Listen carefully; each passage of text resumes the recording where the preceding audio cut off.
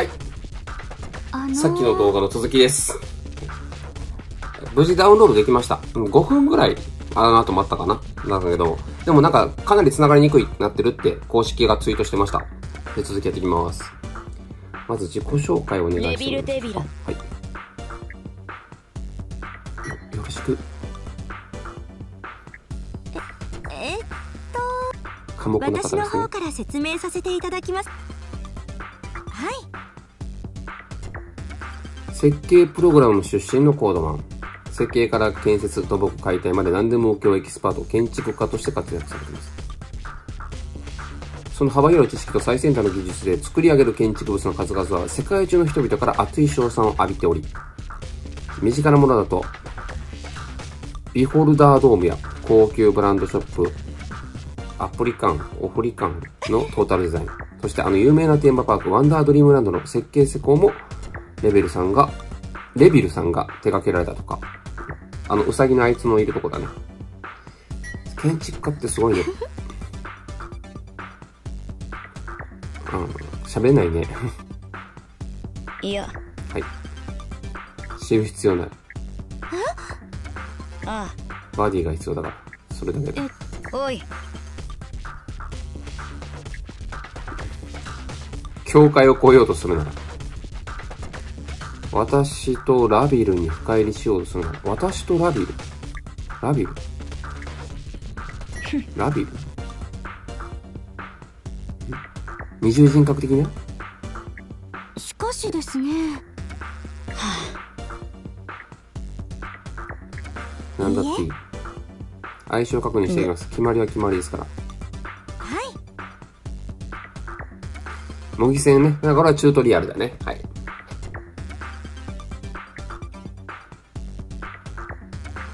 私からの説明は必要ですか？一応事前にですね、えー公式が出しているルール説明ガイドはですね、全部見ました。見たんだけども、改めて、えー確認していこうと思いますので、こここでも見ていこうと思います。はいお願いします。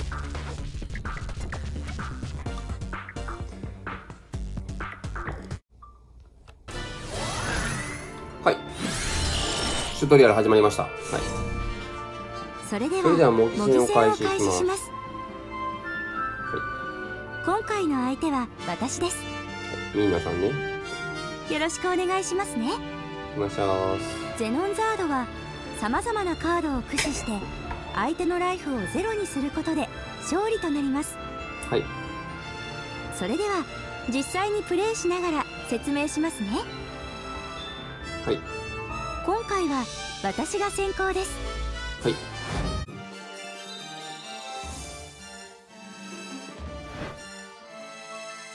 繋がりにくいね。初日はやっぱね。行くぞはいそれではそれでは、あなたのターンです。はい。まずはカードドローの後すぐに訪れるマナフェーズでベースにマナを配置しますはーい。手札に白いカードがありますよねはい。カタカナのし、カナ、タナの新刊。何枚でもデッキに入れられる。このミニオンはブロックできる。こちらはベースミニオンといってマナフェーズの際にベースに配置することでマナになるミニオンですはい。白いカードがベースミニオン。はい。うんこの光っているエリアがベースですはい。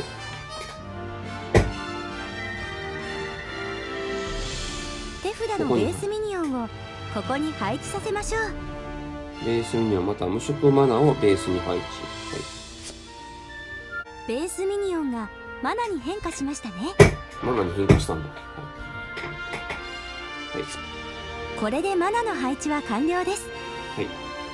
マナの使い方は後で説明しますねマナフェーマナズにとりあえずベースミニオンをーズとなりますメインフェーズ。メインフェーズは紹介したり、ミニオンを召喚したり相手にアタックしたりとゲームの主軸となるフェーズになります。はい。メインだからね。しかしこのターンはもうできることがないのでこれでターンエンドとしましょう。ターンエンド。ターンエンド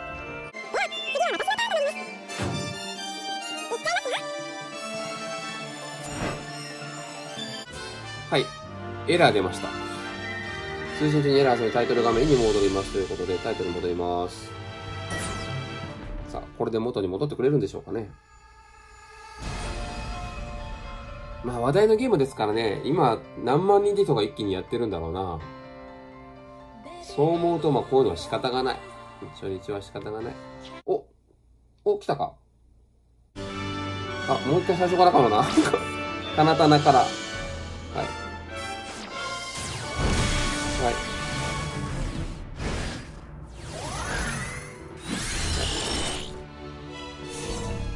それでは模擬再戦を開したんだけど開始します、1からなんで、さっきのとこまで飛ばします。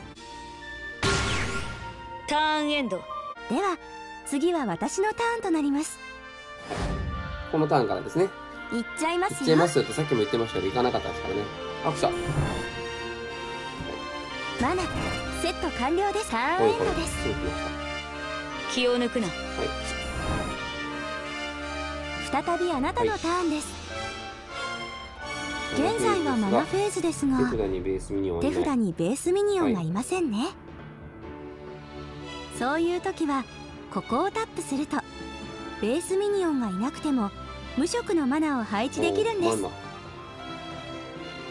早速無色のマナを配置してみましょう。マナを配置する。手札にベースミニオンがいない場合は無色マナが自動的に配置されます、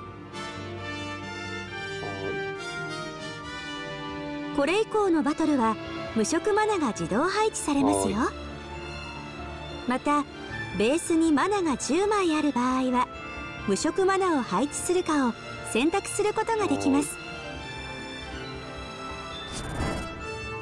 さてマナが溜まってきましたねこのマナですが手札のミニオンを召喚するときに支払うコストになります、召喚に必要なマナの個数は各カードの左上に表示されていますよ、手札にあるゴブリンソルジャーを召喚できるようになりましたので早速召喚してみましょミニオンの召喚。うミニオンを召喚する際使用するマナを選択できます。通常は自動選択されていますのでこのまま。こっちだ。ゴブリン召喚。ミニオン召喚完了ですね。今召喚したのはフィールドミニオンといって相手のライフを減らす主戦力となるカードです。フィールドミニオンが、えー実際にこう戦ったりブロックしたりするもので、ベースミニオンっていうのがマナとなってコストの支払いに使われるものですね。こっちがなんつうのエネルギーみたいなんだよね。ミニオンカードにはこのフィールドミニオンと最初にマナ化したベースミニオンの2種類がありますので覚えておいてくださいねミニオンはフィールドに召喚すると相手に攻撃できるようになります、ここに表示されている数字分ライフを減らすことが可能ですよ、それでは早速私のライフにアタックしてみましょう。まだ壊れないか。アタック成功ですね。それではこのターンはこれでターンエンドとしましょう。はーい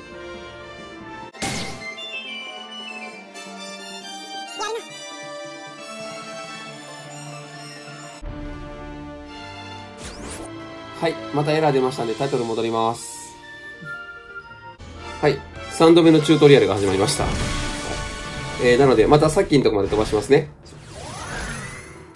はい。さっきのとこまで戻ってきました。えー、ほんま、結構このままで時間かかってますからね。まだ終わっていないでは、再び僕のターン。では自分のターンが来るとマナもミニオンもアクティブになりますうんうん今までの説明を踏まえて自分で進めてみましょう自分で進めてみましょう。はい。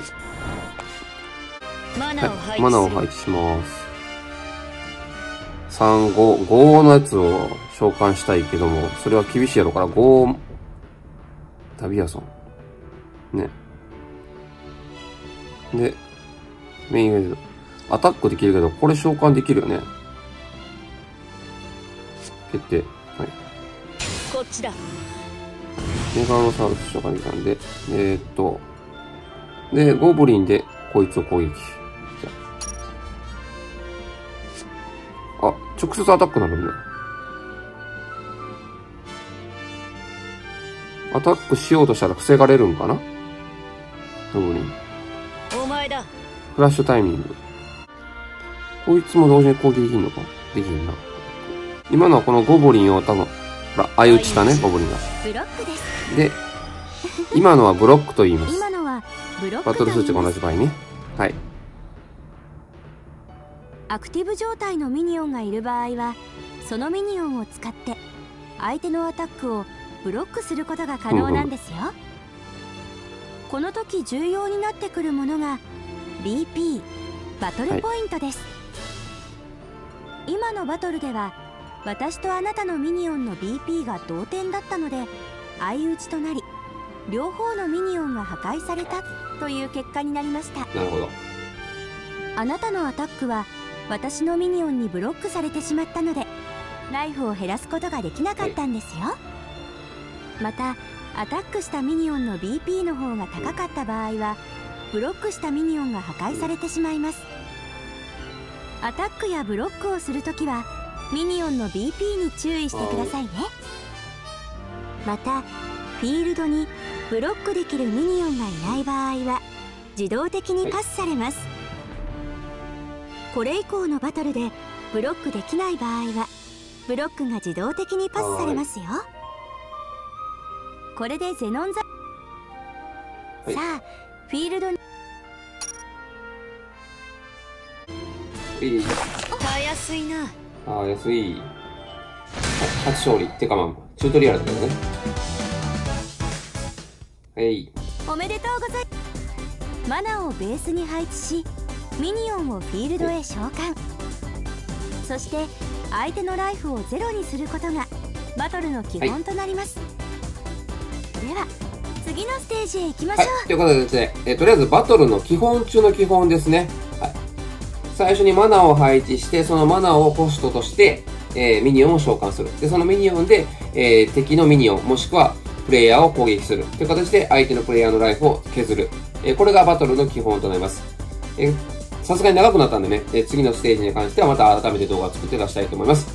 まだね、ゼノンザード、かなり通信状態が不安定なんでね、なかなかプレイしにくい方もいると思いますんで、まずは動画を見て楽しんでもらえたらなと思います。えこの後もですね、続きの動画出していこうと思いますんで、よろしければチャンネル登録、高評価、コメントなどお待ちしています。次の動画もお楽しみに。